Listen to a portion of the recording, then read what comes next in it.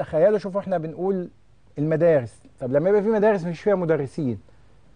آه ونصل إلى إن الطلبة التلاميذ يا عيني بيتسولوا آه، مدرسين. وبيجي لهم بس آه بعض الاثنين ثلاثة يعني. ده في أسوان لكن في نماذج كده آه أيضا كتير. بنقول آه إنه في مدارس مفيش فيها تعليم ومدارس آه فيها تكدس فصول ومدارس فيها انهيار في الأبنية. لكن لما يبقى مدرسة ومفيش فيها العنصر الأساسي يعني هنا هو تلميذ ومعلم وإدارة مدرسة وإلا يبقى مفيش. لكن آه، مدرسة في أسوان وزيها كتير بلا أي معلمين.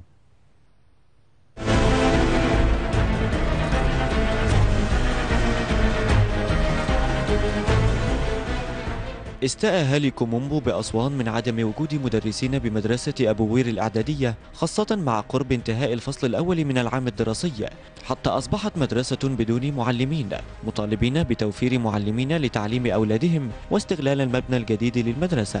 إحنا في مدرسة أبوير الإعداد- الإعدادية بإدارة كوم أمبو إيه، مشكلتنا زي مشكلة القرى النائية الكتيرة في مصر جدا.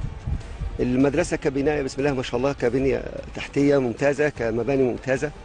والطلبة يعني ال- السنة اللي فاتت في الترم الثاني قالوا هنفتح المدرسة وهيحولوا الطلبة على هنا رجعوا ثاني قالوا لا مفيش مدرسين. وجئنا من مدير الإدارة بعت لنا اثنين مدرسين لغة عربية. فقط لا غير خدنا ثلاث أسابيع آه على الوضع ده. عيالنا ما نلقاش مدرسين يدرسوه.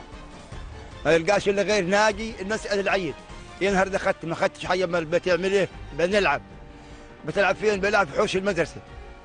يعني لا بيعقط ولا بيطلب. يا ابني إيه عملت؟ ما عملتش حاجة. طب المدرس العربي هيدرس أولى وثانيه وثالثه طب هيدرس إنجليزي هيدرس رياضات هيدرس علوم هيدرس حاسب آلي هيدرس إيه ده من ده كله؟ طب أهو إحنا خلاص الترم الأول قرب يخلص. طب الامتحانات جاية طب هنعمل إيه؟ أخذنا له مادة واحدة بس وفي مدرسين بس لا مادة واحدة عربي بس. أخذنا عربي بس. خدناش غير حصتين عربي. خدتش غير حصتين عربي؟ حصتين عربي بس. من أول المدرسة ما ابتدت؟ من أول ما ابتدت. آه. وكل يوم بتجي تعمل إيه بقى؟ بتجي كل يوم بناجي نشيل زلط ونحفر ونخط الشجر. وتحفر وتعمل إيه؟ نخط الشجر. تحط الشجر؟ آه. آه. نزرع. تزرع يعني. أيوة. المشكلة إن إحنا طلاب بيجوا من الجزيرة من الغرب ويجوا ويجوا ماشيين 3 4 كيلو كل يوم يجوا وما فيش مدرسين.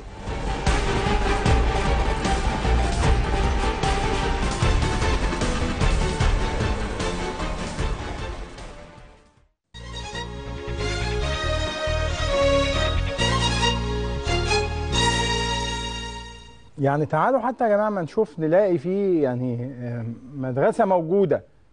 والمشكلة فيها إنه ما فيش مدرسين. ف- فعلى طول تتحل هذه المشكلة وتشوف نتحل إزاي. لأن إحنا مشكلتنا في إنه ما فيش مدارس أو مدارس موجودة ومتآكلة أو منهارة أو فيها تكدس فصول فلما تبقى في مدرسة هي مشكلتها الأساسية آه، إن مفيش فيها مدرسين ونسيب كده القضية آه، بهذا الشكل ده معناه إن أنا بحرم التلاميذ دول من التعليم. آه، والمشكلة الأساسية اللي هي إنشاء المدرسة اللي هي يجب إنها تكون العائق الأساسي آه، موجودة.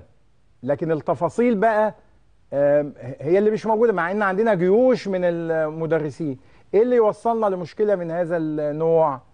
يعني أتمنى ان ان المعنيين كل معني بهذه القضية. آه، في محافظة أسوان وفي وزارة التربية والتعليم لما يشوف ده طب ما غدا نحل المشكلة. ما نحرمش التلاميذ من التعليم وفي نفس الوقت آه، نخلي ال- المدرسة تشتغل. آه، كمان نفس المشكلة بتلاقي بالجهود الذاتية ودي صورة طيبة من الناس يعني.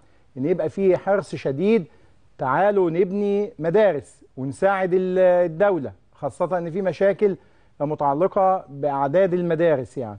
طب فالناس بنوها ومستنيين إنها تشتغل لكن ما بتشتغلش. إيه الأسباب؟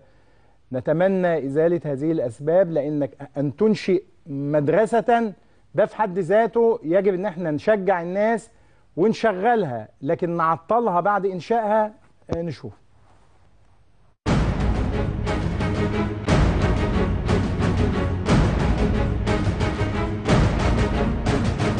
على مدى بضع سنوات طلع أهالي قرية الدقاونة بمحافظة الشرقية إلى توفير مدرسة يتعلم فيها أطفالهم حتى يئسوا من قيام المسؤولين بواجبهم فبنوا تلك المدرسة بالجهود الذاتية.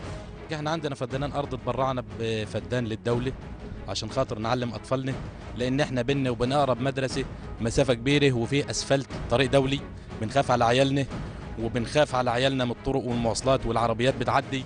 وكان في حادثة قريب أحد أولياء الأمور والأطفال ماتوا وجرينا من 2011 بنجري على المدرسة ومعانا عقود إثبات ملكية سيادتك وتبرعنا بالأرض للدولة وإحنا ما بنطلبش أكتر من حقنا. إحنا عايزين نتعلم في بلدنا. المبنى شايفينه مصبوب فيه دور المية فيه لغاية الصبورات جايبينه لغاية الصبورات جايبينه لو عايزين نجيب التباشير كمان إن شاء الله هنجيبه مش مشكلة يعني عادي.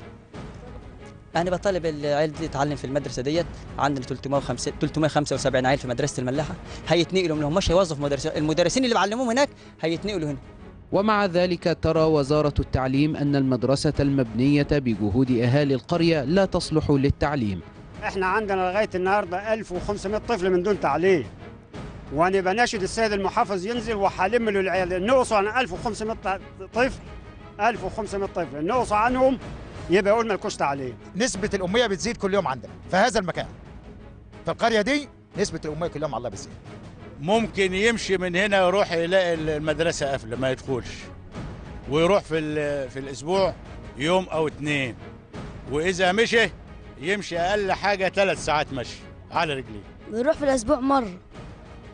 وكل ما نيجي نقف نركب نستنى حاجة نركب فيها ما فيش حاجة بتيجي نروح نغير هدومنا وما نروحش. بنروح الفجر المدرسة بنروح هناك على الساعة 10 كده ولا حاجة وما بنلحقش الدرس وما عدناش عايزين نروح عايزين المدرسة دي تفتح بروح المدرسة بعد ثلاث ساعات مانيش قادرة أتعلم يعني. وبلاقي الباب البوابة مقفولة وما أقدرش وشاتني أرجع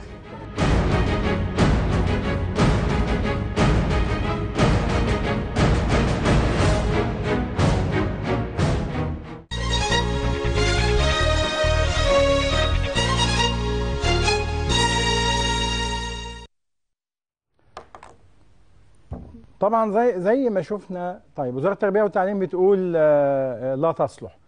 طيب نشوف نخليها إزاي تصلح؟ لأن الناس دفعوا اموالا لبناء آه، مدرسة. وإحنا مشكلتنا في التعليم زي ما قلنا لكم هي مشاكل متفاقمة وكثيرة ولكن من بينها إنشاء المدارس ومن بينها مدارس آدمية. ما يبقاش فيها تكدس فصول وما تبقاش منهارة بيموت فيها ال- الطلب. فلما بنلاقي الناس بتجمع اموالا كده وتبني مدرسة لو في مشكلة نقول لهم في مشكلة تعالوا نحلها إنما نقول لهم لا تصلح يعني آه، اللي أنتوا عملتوه آه، ملوش قيمة ونسيب المدرسة بهذا الشكل. والناس تعاني بقى المعاناة اللي أنتوا آه، شايفينها.